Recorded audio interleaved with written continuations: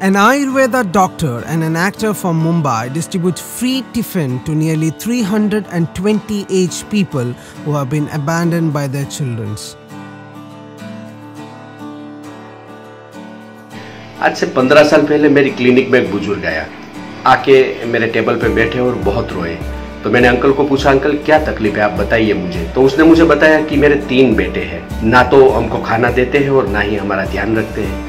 तो ये भारत देश में अपने माँ बापों की ये पोजीशन देख के मुझे बहुत दुख हुआ तो मैंने अंकल को बोला कि अंकल आप टेंशन मत लीजिए कल से मेरे घर से टिफ़िन आएगा But soon, Dr. Uday realized that the problem was much bigger and deeper than he ever imagined. Mumbai जैसे महानगर में जगह का प्रॉब्लम समझ में आता है जनरेशन गैप समझ में आता है पैसों का प्रॉब्लम समझ में आता है लेकिन एक बेटा अपने माँ बाप को खाना नहीं दे वो बात आज से मुझे पंद्रह साल पहले भी समझ में नहीं आ रही थी और मुझे आज भी समझ में नहीं आ रही है He put up posters and banners asking those abandoned by their children to come to him.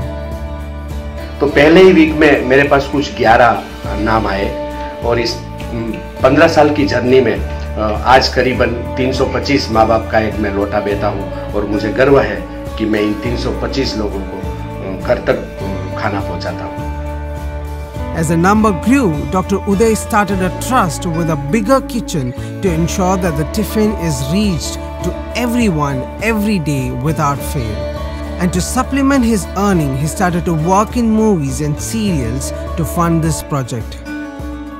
Doctor तो हूँ ही मैं साथ साथ में मैं एक्टर भी हूँ तो मैंने कई सारी हिंदी गुजराती सीरियलों में काम किया है कई फ़िल्मों में काम किया है हिंदी सीरियलों में मेरे पास तारक मेहता का उल्टा चश्मा पवित्र बंधन सी आई डी यम है हम जैसी कई मातबर सीरियल मैंने की है और उनमें से जो आमदनी होती है मेरे पास वो मैं ये टिफ़िन सेवा में अर्पण करता हूँ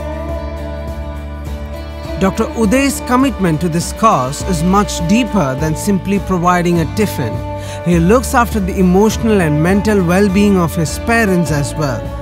He takes them all to a family picnic along with his actual family. तो हम लोग उसको हर तीन महीने में कहीं मुंबई के आजू बाजू की जगह में घूमने लेके जाते हैं।